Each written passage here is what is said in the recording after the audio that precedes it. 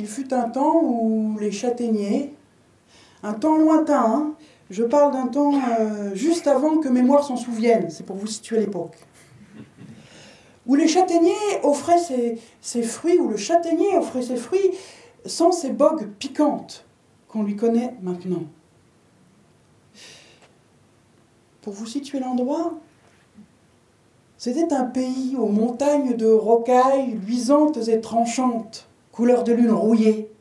Un, de ces vieux pays où, la terre nourricière fuit sous la moindre pluie. Là, il, il y vivait ces arbres de peu d'exigence et grande générosité, les châtaigniers. Il y vivait aussi ces gens qui laborieusement sauvaient un peu de terre au moyen de terrasses soutenues par des murs de pierre sèche montés par des bras en sueur.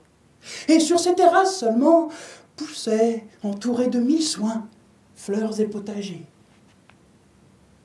Pays pauvre, on le dit, qui fait fuir l'avenir. Et pourtant, dans un village, restaient quelques jeunesses.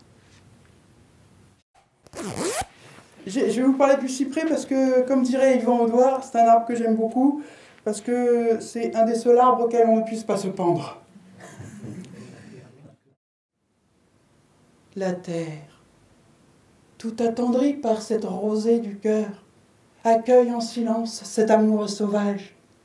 Les deux chairs distinctes de l'homme et de la bête, elle les tire en elle. Et là, tout doucement, à l'abri des regards, dans ce noir fertile où germe la naissance, elle les tresse, les tisse, les confond en une chair unique de bois.